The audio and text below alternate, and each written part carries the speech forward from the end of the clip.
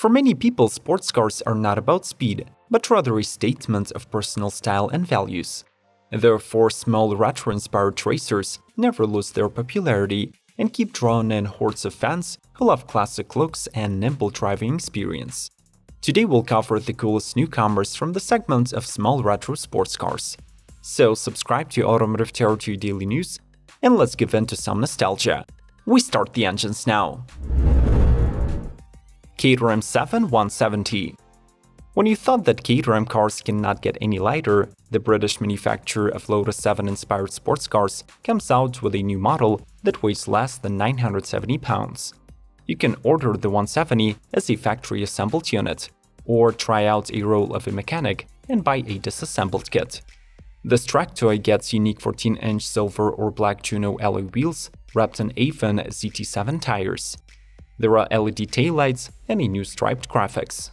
Since it's the entry-level Caterham, the engineers fitted a small 660cc 3-cylinder turbo unit from Suzuki that makes 84 horses and 86 pound-feet. Matched to a 5-speed manual gearbox, it will dart to the 170 to 60 in 6.9 seconds and will top off at 105 mph. Two versions of the model are on offer, a road-focused 170S with a windscreen and black leather seats, and a track-only 170R with a sport-tuned suspension, limited slip differential, a carbon fiber dash, and race seats.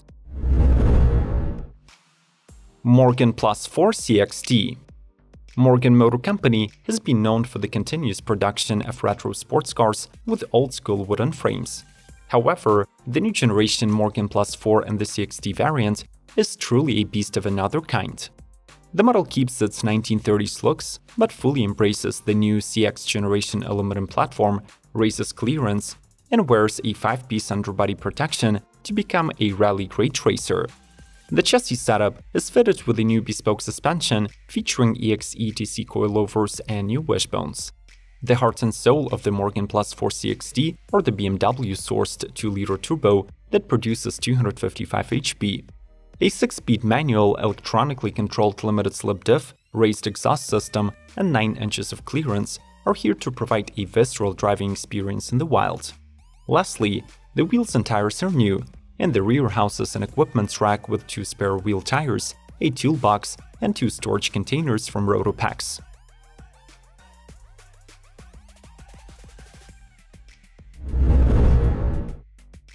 Donkervoort D8 GTO Individual Series The most customizable car in the roster of the Dutch manufacturer invites prospective buyers to the company's facility to spend a day with one of the company's owner and create their own individual series unit exactly as they want it. This Donkervoort can have an exposed carbon fiber body or be painted in any color of the palette. The main options for the model also include different size brakes, Bosch Race ABS, electronic power steering, AC, race seats, roll cage, and a rear view camera. As before, the individual series comes powered by 2.5-liter 5-cylinder turbo, but now it gets new fuel injectors and engine mapping to deliver extra 15 horses, 435 in total. Further exclusivity of this D8-GTO is ensured by the fact that it's likely to be the last road legal version of the car, as well as the fastest Donkervoort ever built, it will reach 124 mph in 7.6 seconds, and its top speed will be kept at 177 miles per hour.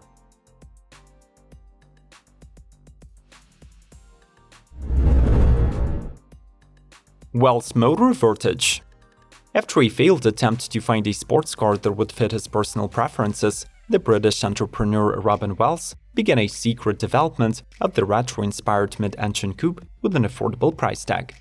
The Vertige rides on a stiff steel monocoque chassis with tubular steel frames and a double wishbone suspension front and rear. The two-seater is just 13 feet long and size-wise can be compared to a Mazda Miata. At its heart lies a Ford-sourced 2-liter 4-cylinder engine with 208 horsepower that is controlled through a 6-speed manual gearbox. Weighing just 1900 pounds, the Wells Vertige sprints to 60 in 5 seconds and does 140 miles per hour. The initial batch of the model includes only 7 units that have already been sold to the friends and family. However, the company plans to increase production to 25 units per year. We will definitely appreciate you smashing the like button. Each thumbs up guarantees more episodes in your inbox. Let's keep rolling.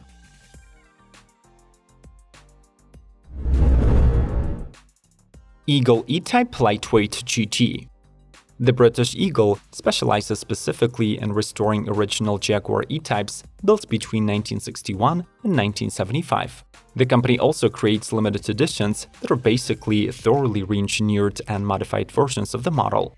The brand's most recent creation is the Lightweight GT that draws upon the 12-unit 1963 lightweight, but uses the less rare Series 1 E-Type chassis. This project took over 8,000 labor hours to build and included the construction of the new aluminum bodywork and installation of the new 16-inch magnesium wheels, independent wishbone suspension with Allen dampers, and modern brakes with 4-piston calipers. The E-Type's powertrain goes through a transformation as well, Instead of the 3.8-liter straight 6, the car gets a 4.7-liter XK twin-cam 6-cylinder that outputs 380 horsepower. The standard 4-speed manual is replaced by a 5-speed unit. In the end, the lightweight GT weighs just 2,242 pounds and reaches 170 miles per hour speeds.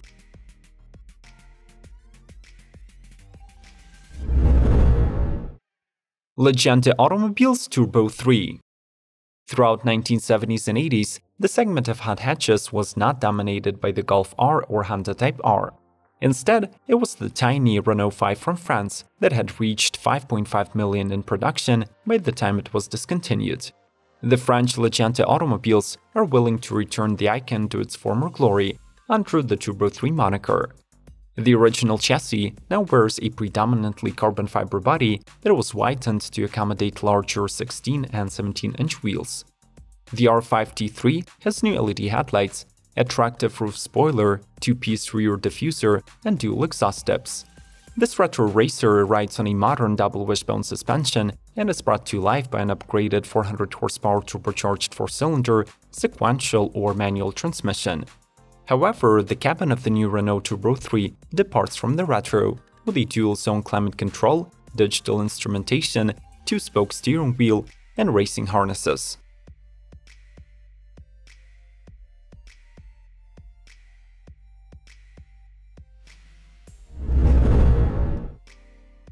Blaze EV Classic Inspired by the lineage of sports cars from 1930s through 1960s, the Blaze EV is a Japanese single-seater that qualifies as a moped, has vintage exterior, and can still deliver exciting driving around the town.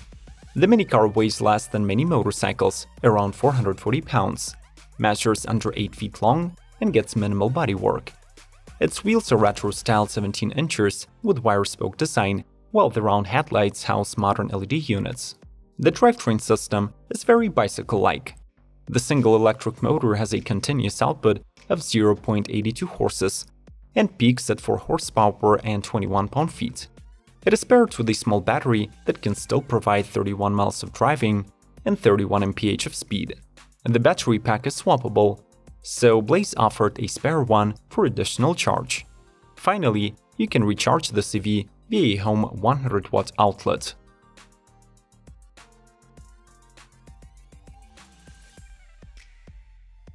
Do not hesitate to like this video and jump into the comment section to discuss today's lineup. Which model is your favorite and do you agree that today's cars should look like the classics? Smash the like button and subscribe to Automotive Territory Daily News if you do not want to miss the upcoming episodes. More informative content is on the screen. We'll see you.